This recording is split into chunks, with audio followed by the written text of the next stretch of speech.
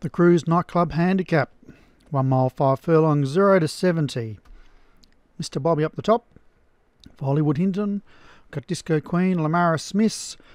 Lamara C for Miners, 9 to 4 pre race favourite. Put Modern, Midnight Train, Dan Dares Girl, Street Dancer, Harry Bum, Monotonous, Brock Lesnar, Fighting Man, Red Bishop Briggs, and Red Chief for Darren Howes, number 14.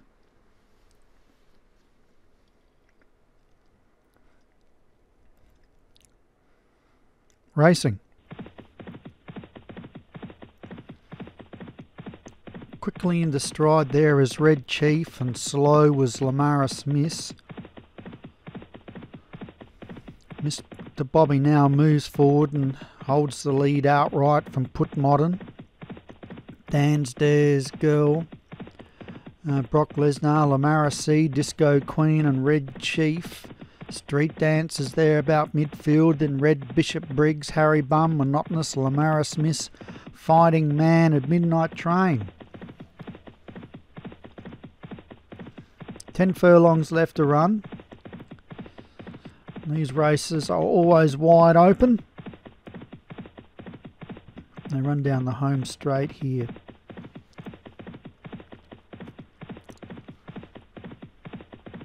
And it's Mr. Bobby coming down to the winning post for the first time. They got a lap to go. Mile track. Second is Put Modern. And then we've got Disco Queen and Lamara C running together. Then Dan Dares Girl and Brock Lesnar. Then we have Street Dancer and Lamara Smith uh, from uh, Red Bishop's Brig, Monotonous, Harry Bum, Red Chief, and Fighting Man and Midnight Train at the tail. Six furlongs left to run. And Mr. Bobby and Put Modern are leading comfortably. You haven't been pushed at all yet. From Disco Queen, who moves into outright third. Then we've got Brock Lesnar, Lamara C, and Lamara Smith. Then Dan Dares Girl, Harry Bum, Red Bishop Briggs, Monotonous Street Dancer, Red Chief, Fighting Man, and Midnight Train.